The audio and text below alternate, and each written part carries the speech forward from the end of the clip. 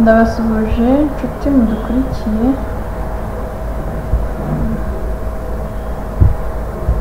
nongeye kubasuhuza inshuti mwese mudukurikiye tugiye kurebera hamwe uburyo ushobora gukora dekararasiyo y'imishahara y'abakozi bawe. Turajya turafungura urubuga rwa rwanda reveni www.rra.gov.rw yameze biri gufunguka mu gihe bifungutse uzareba ahantu handitse pay domestic taxi. Niho uzaza. Hahita hafunguka kano gafomu kakubaza tini. Uzashyiramo tini yawe na pasiwadi mu gihe udafite pasiwadi ujya kuri rwanda reveni bakayiguha kugira ngo ujye ubasha kwidekarara imisoro yawe online. Turagira turajya kuri sayini wawu byafungutse. Iyo bifungutse ikintu cya mbere ubanza gukora ni ugutegura anegica yawe. Uraza hano kuri anegica dawunilodi muri kuhareba. Hano haba hariho anegisi nyinshi anegica nyinshi. Turahitamo iyacu. Iyacu dushaka muri aka kanya ni iya peyi iya peyi niyo turi bufungure kuko tugiye kwishyurira kudekararira imishahara y'abakozi bacu. Niyo dufungura. Harafunguka fomu mu gihe iri gufunguka murabibona ko yafungutse.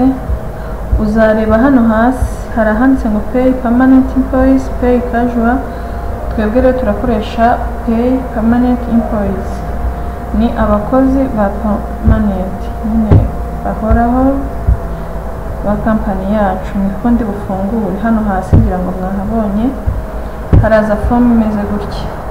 Bakubaze imyirondoro y'umukozi wawe. Nimero ya rssb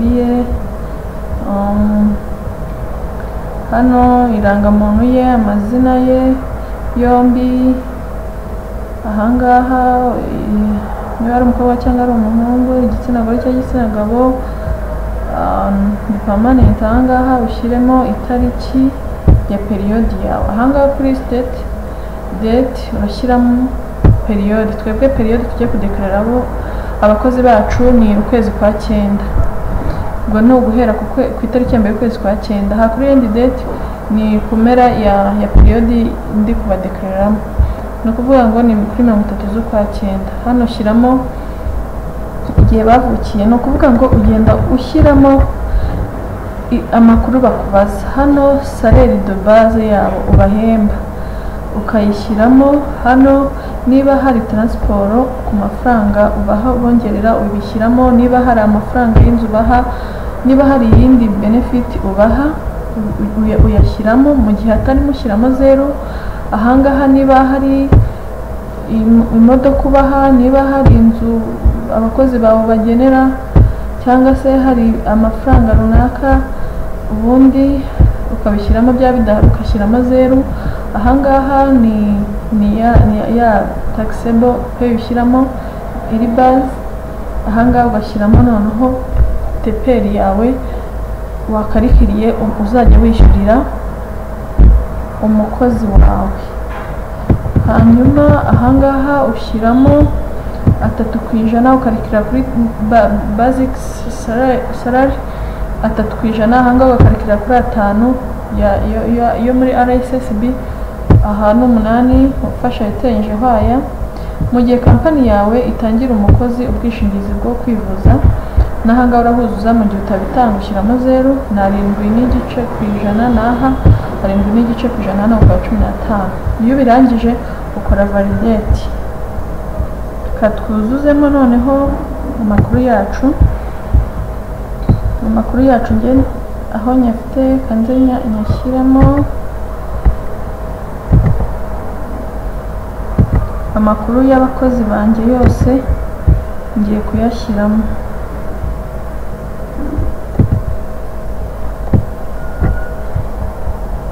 Kuyashyiramo abakozi banjye.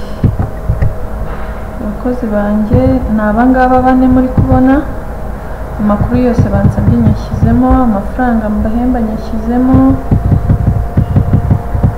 byose mbishyizemo nta rama mbatangira ngewe hanyuma iyo mbirangije mpita nkora kuri validate.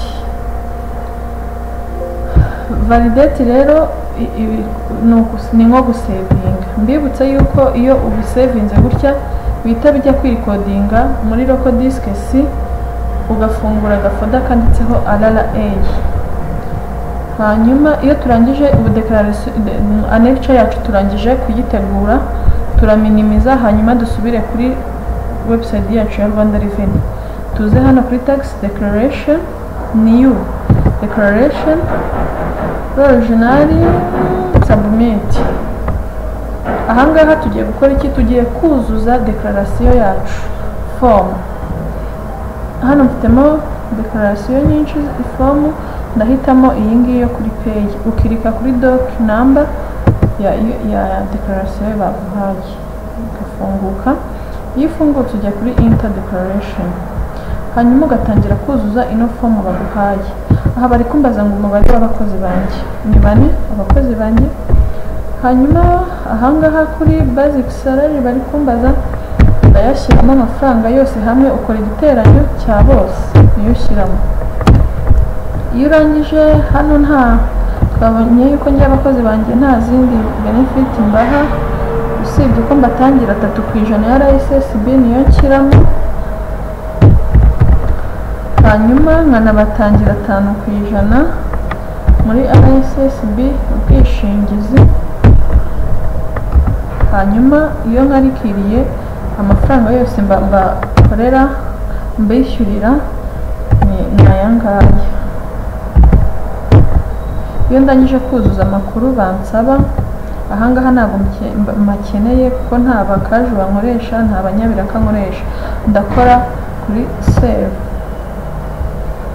Ok byisevinze igikurikiyeho mpita njya gukora upload. Upload ni nko gufata ya lecture yanjye nateguye nkayihuza n'iyi fomu yuzuye. Maze kuzuza. Nibyo ngiye gukora. Ahangaha murabona yuko bamaye uploadinga hano rero bamaye n'eshatu ariko nkeneye imwe. Ya permanent ndakora kuri upload njye kuri browse njye kureba hahandi nababwiye bita byirikodinga ni local disk C muri kano gafoda kanditseho RRA hanyuma ndebemo pay permanent. N'aba permanent banjye? Murabona ko yageze hano nkore submit.